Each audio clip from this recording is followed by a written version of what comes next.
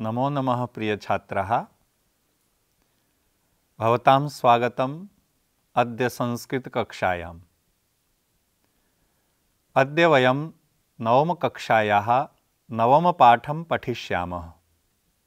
प्यारे बच्चों, आप सबका संस्कृत की इस कक्षा में स्वागत है। आज हम नवम कक्षा के नवम पाठ को पढ़ेंगे। जो पाठ्यपुस्तक शेमुसी से लिया गया है। पाठस्य नाम अस्ति सिकता सेतु। पाठ का नाम है सिकता सेतु। सिकता बालू रेत को कहते हैं बच्चों, और सेतु बाँध। सिकता सेतु बालू रेत से बनाया गया बाँध। पुल। बालू रेत से बनाया गया पुल सिकता सेतु। आगच्छन्तु पठामः।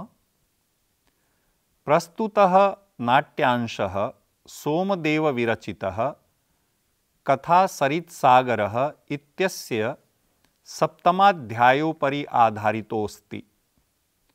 प्रस्तुत नाट्यांशः यह जो नाट्यांश है, जिसे आज हम पढ़ रहे हैं, प्यारे बच्चों यह संस्कृत साहित्य की एक रचना जिसका नाम है कथा सरित सागर। कथा सरित सागर से लिया गया है और इसके रचनाकार हैं सोमदेव। सोमदेव विरचित, सोमदेव जी के द्वारा रचित कथा सरित सागर से लिया गया यह पाठ है, जो कथा सरित सागर के सप्तम अध्यायोपरि आधारित अस्ति सप्तम अध्यायोपरि अध्याय उपरि। यहाँ संधि है प्यारे बच्चों। सातवें अध्याय के ऊपर आधारित अस्ति। ये भी संधि युक्त पद है। आधारित अस्ति, आधारितोस्ति। सातवें अध्याय के ऊपर आधारित यह पाठ है। अस्मिन् नाट्यांशे तपसा विद्यां प्राप्तुं यत्नशीलः कश्चित् तपोदत्त नामकः कुमारः चित्रितः अस्ति। अस्मिन् नाट्यांशे। इस नाट्यांश में, नाट्य के अंश में, नाट्यांश, नाट्य का अंश, ये जो अंश हम पढ़ रहे हैं, इस नाटक के अंश में, तपसा विद्याम प्राप्तुम यत्नशील, तपस्या के द्वारा, तपस्या करके विद्याम प्राप्तुम विद्या प्राप्ति की प्रयत्न, कोशिश करता हुआ, यत्नशील यत्नम कुर्वन, कोशिश करता हुआ कश्चित किसी तपोदत्त नामक कुमार चित्रित अस्ति। एक तपोदत्त नामक कुमार का बालक का चित्रण किया गया है, जो विद्या प्राप्ति के लिए यत्नशील है। तस्य मार्गदर्शनाय पुरुष वेशधारी देवराज इंद्र तत्र आगतवान। तस्य उसके, किसके? तपोदत्त नामक बालक के। उस तपोदत्त नामक बालक का मार्गदर्शन करने के लिए मार्गदर्शन आए, उसका रास्ता, उसे रास्ता दिखाने के लिए, उसकी सहायता करने के लिए पुरुष वेशधारी, पुरुष का वेश धारण करके जिसने इंसान का स्वरूप धारण कर लिया, ऐसा देवराज इंद्र, देवताओं का राजा इंद्र तत्र आगतवान, वहाँ आ गया। आगतवान आ गया। एक तवतु प्रत्यय का प्रयोग है। उस बालक की सहायता करने के लिए वहाँ पर देवताओं का राजा इंद्र आ गया। तत्र आगत्य देवराज सिकताभि सेतु निर्माणार्थम प्रयतते। तत्र आगत्य वहाँ आकर के देवराज देवताओं के राजा क्या करते हैं? सिकता भी बालू से सेतु निर्माणार्थम, पुल बनाने के लिए, सेतु का निर्माण करने के लिए, पुल का निर्माण करने के लिए प्रयतते, प्रयत्न करते हैं। देवताओं के राजा इंद्र वहाँ आते हैं और वह वहाँ आकर बालू के द्वारा पुल बनाने का यत्न करते हैं, प्रयत्न करते हैं, प्रयतते, प्रयत्न करते हैं। आत्मने पद प्रयोग है। एतदृष्ट्वा तपोदत्तः प्रहसन वदति। एतदृष्ट्वा किम दृष्ट्वा? देवराज्ञ इंद्रस्य कार्यम दृष्ट्वा। क्या देख करके देवताओं के राजा इंद्र जो कार्य कर रहे थे, सिकता से सेतु निर्माण का, उसे देख करके वह बालक प्रहसन, प्रहास करते हुए, उपहास करते हुए उनका मज़ाक उड़ाते हुए। प्रहसन कहते हैं मज़ाक। उनका मज़ाक उड़ाते हुए वदती कहता है। किम वदती? क्या कहता है? किमर्थम भो?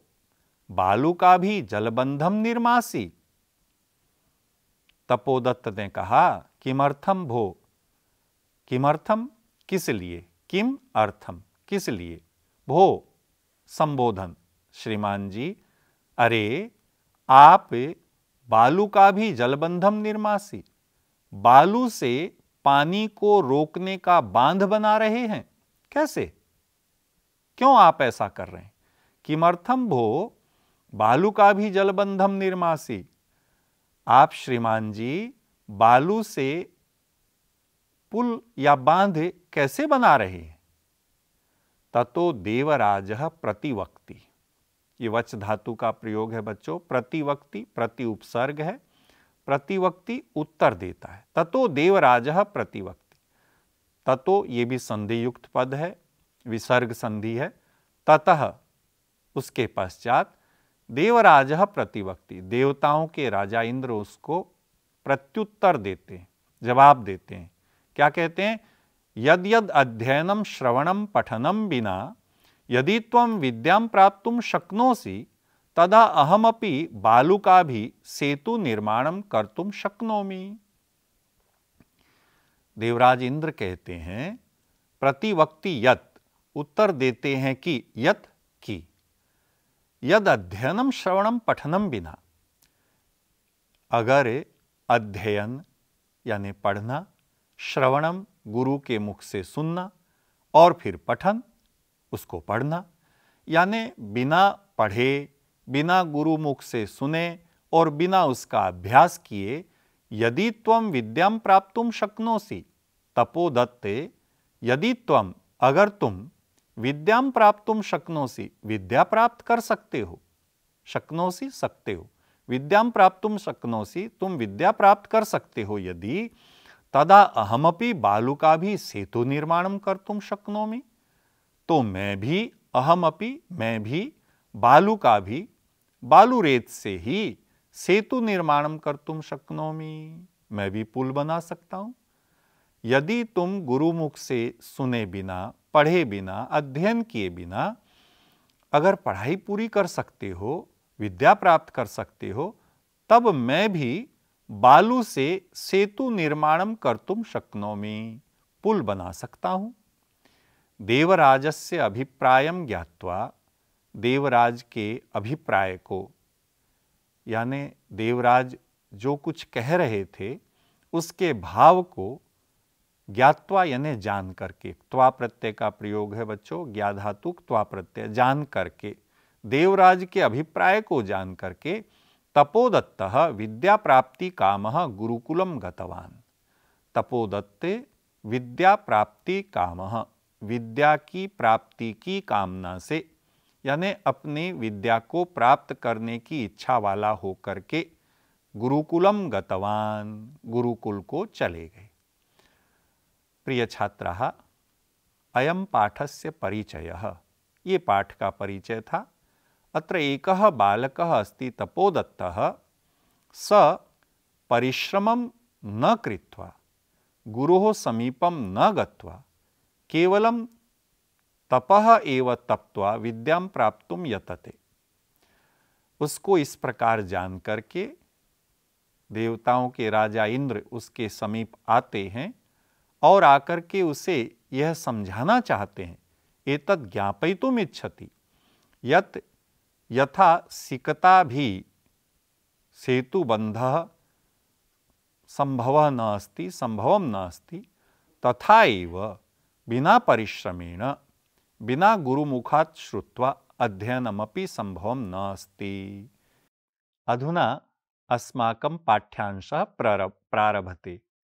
अब हमारा आज का पाठ्यांश शुरू होता है प्यारे बच्चों। तपोदत्त। अहमस्मि तपोदत्त। बाल्ये पितृचरण क्लेश्यमानोपि विद्यां नाधीतवानस्मि। तस्मात् सर्वैः कुटुम्बुभिः, मित्रैः ज्ञातिजनैश्च गर्हितो अभवम। तपोदत्त वदति, तपोदत्त कहता है अहम अस्मि तपोदत्त। मैं तपोदत्त हूँ, अस्मि हूँ अहम मैं मैं तपोदत्त हूँ। उसका नाम है तपोदत्त। बाल्ये पितृचरण क्लेशमानोपि बाल्य बचपन में बालक समय बचपन के समय पितृचरण पिताजी के द्वारा सम्मानित व्यक्ति के लिए इस तरह का प्रयोग संस्कृत में होता है, प्यारे बच्चों। मातृचरण या पितृचरण। तो बचपन में पिताजी के द्वारा क्लेशमानोपि कहे जाने पर, दबाव दिए जाने पर, ताड़ित किए जाने पर भी बचपन में पिताजी ने बहुत प्रयत्न किया, तब भी क्लेशमानो अपि कहे जाने पर, प्रताड़ित किए जाने पर भी विद्याम न अधितवान अस्मि अहम विद्याम न प्राप्तवान। मैंने विद्या अध्ययन नहीं किया, न अधितवान, नहीं अध्ययन किया, अस्मि हूँ। मैंने विद्या प्राप्त नहीं की। बचपन में पिताजी ने बहुत प्रयत्न किया, फिर भी मैंने विद्या प्राप्त नहीं की। तस्मात सर्वई कुटुंब कुटुंबी भी इसीलिए, तस्मात इसलिए सर्वई सभी कुटुंबी भी, जो मेरे कुटुंब के परिवार के लोग थे, उनके द्वारा ये तृतीया विभक्ति का प्रयोग चल रहा है, प्यारे बच्चों। कुटुंबी भी और मित्र ही, ज्ञाति जनई, ये सब तृतीया विभक्ति का प्रयोग है।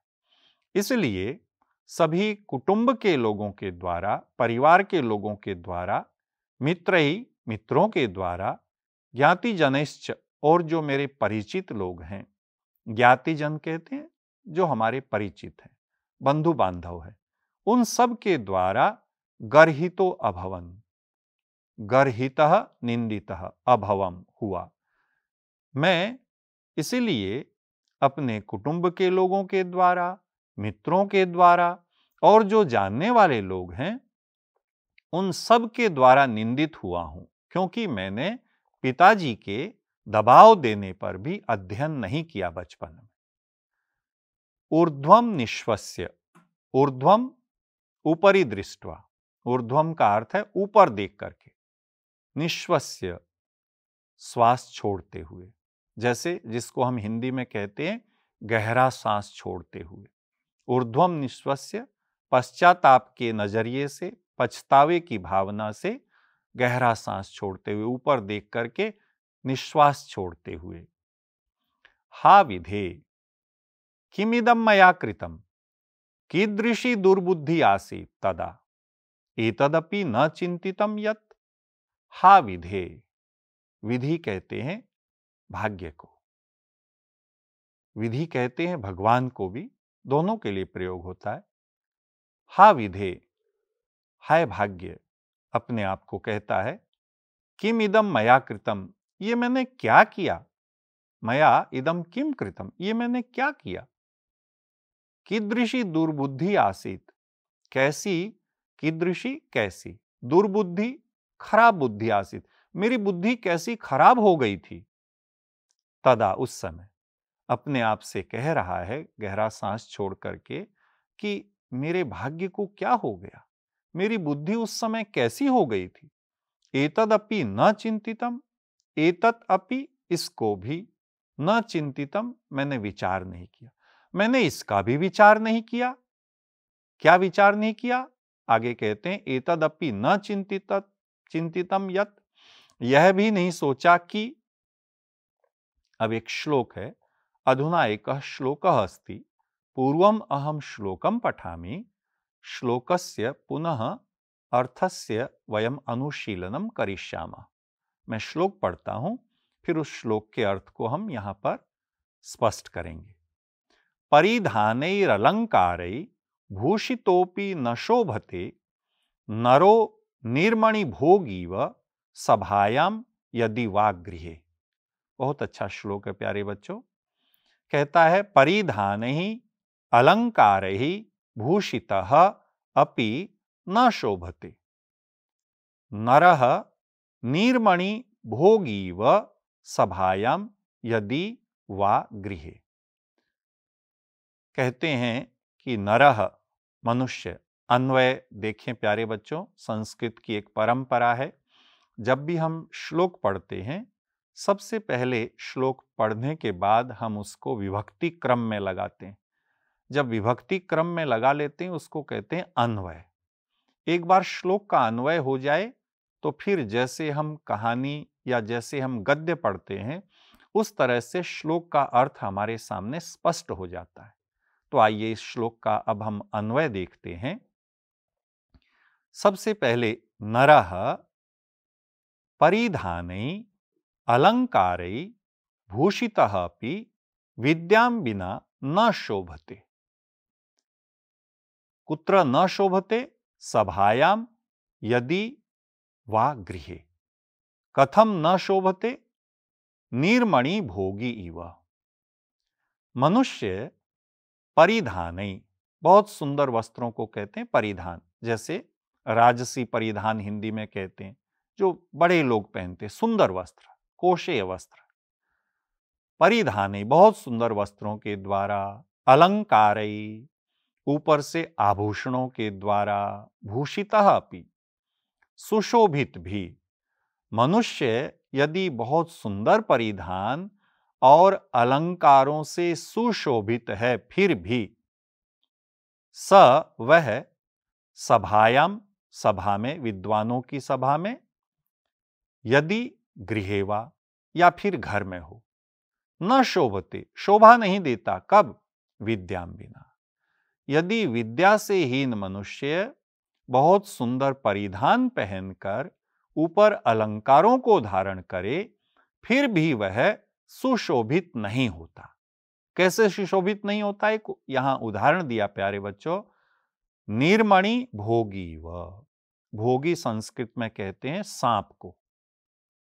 जैसे कोबरा सांप है या जो भी सांप जहरीला होता है, उसके लिए भोगी प्रयोग होता है।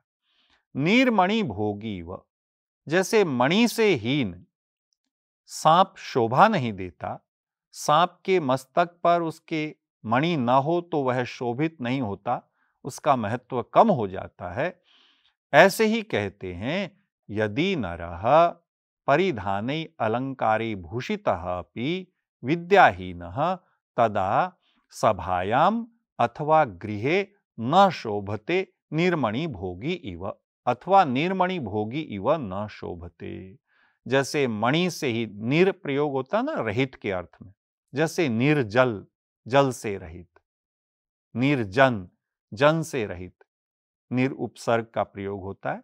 तो जैसे मणि से रहित सांप शोभा नहीं देता है, ऐसे ही मनुष्य यदि परिधान पहने, अलंकृत भी हो, लेकिन वह विद्या से हीन हो, तब वह न तो सभा सभा में शोभा देता है और न ही गृह घर में शोभा देता है।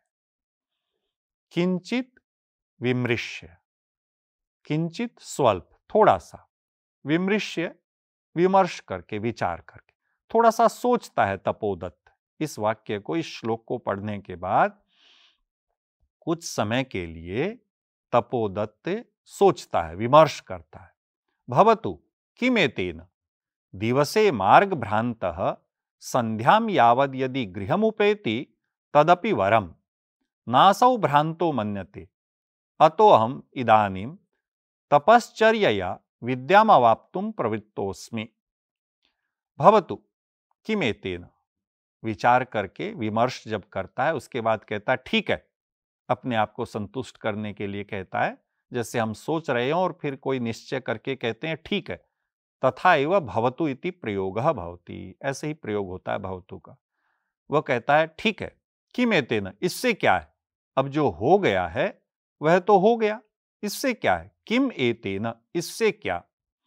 दिवसे मार्ग भ्रांत, दिवस में, दिन में मार्ग भ्रांत, मार्ग भटका हुआ। भ्रांत कहते हैं भटका हुआ। दिन में यदि कोई रास्ता भटक गया हो, संध्याम यावत शाम तक, संध्या तक, सायंकाल तक, यदि गृहम उपेती, यदि घर उपेती, प्राप्त होती आ जाता है, पहुँच जाता है, तदपि वरम, वह भी अच्छा है। बच्चों, हिंदी का एक प्रयोग है, सुबह का भटका शाम को घर लौटाए उसी तरह का ये प्रयोग है, कहते दिवसे मार्ग भ्रांत, दिन में रास्ता भूला हुआ, संध्याम यावत शाम तक यदि गृहमुपेति अगर घर वापिस लौट आता है, तदपि वरम तत् अपि वह भी वरम वरम कहते हैं श्रेष्ठ, वह भी बहुत अच्छा। अगर आप रास्ता भटक गए हैं सुबह, दिन में, और शाम तक आप ठीक घर वापिस लौट आए, तदपि वरम, वह भी उत्तम है। नासौ भ्रांतो मन्यते, न असौ इस व्यक्ति को जो मार्ग भूल गया। असौ प्रयोग है उसके लिए, जो दिवस में मार्ग भूल गया कहते हैं, न असौ भ्रांत मन्यते, उसको भटका हुआ नहीं माना जाता। अतो हम इदानिम तपश्चर्या विद्याम अवाप्तुम प्रवृत्तोस्मी अतः इसलिए अहम मैं इदानिम अब तपश्चर्या तपस्या के द्वारा विद्याम अवाप्तुम विद्या प्राप्त करने के लिए विद्याम अव आप तुम तुम उन प्रत्यय का प्रयोग विद्या अध्ययन के लिए प्रवृत्त लग गया हूँ। तैयार हो गया हूँ। जलोच्छलन जलोच्छलन ध्वनि ही श्रूयते, तभी पानी के उछलने की, जल उच्छलन, पानी के उछलने की ध्वनि आवाज़ श्रूयते सुनाई देती है। अहे कुतोयम कल्लोलोच्छलन ध्वनि ध्वनि महामत्स्यो मकरो वा भवेत, पश्यामी तावत। तपोदत्त कहता है अये कुतोयम, अरे कहाँ से यह कुतः कहते कहाँ से? अरे कुतः अयम, कहाँ से है यह?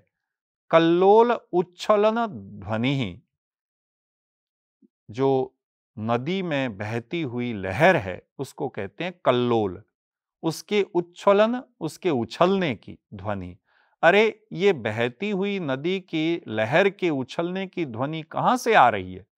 महामत्स्यो मकरो वा भवेत। कोई महामत्स्य बहुत भारी महामत्स्य, बड़ी मछली मकरोवा भवेत, या मकर है, मगरमच्छ है, पश्यामी तावत तो मैं देखता हूँ। पश्यामी तावत, अहम तत् पश्यामी, मैं उसे देखता हूँ। प्रिय बच्चों, ये इस पाठ का हमारा प्रथम अंश है। तपोदत्त बाल्ये विद्यां न अधीतवान् परम स पश्चातापमग्न अस्ति। पुनश्च स विद्यां प्राप्तुं यतते, तपः कर्तुं च इच्छति। एतावत पर्यंतम यहाँ तक हमने प्यारे बच्चों पढ़ा कि वह फिर से विद्या प्राप्त करने के लिए तप करने को तत्पर हो रहा है। अग्रिमम भागम पुनः पठिष्याम। भवंत इस पाठ को अब तक जो हमने पढ़ा, उसको आवृत्त कीजिए, उसे बार बार पढ़िए। भाषा बहुत सरल और प्रांजल भाषा है, बहुत सुंदर प्रयोग है और प्रेरणाप्रद कथा है। आशा है आपको यह उत्तमतया समझ में आ गया होगा। धन्यवाद, प्यारे बच्चों।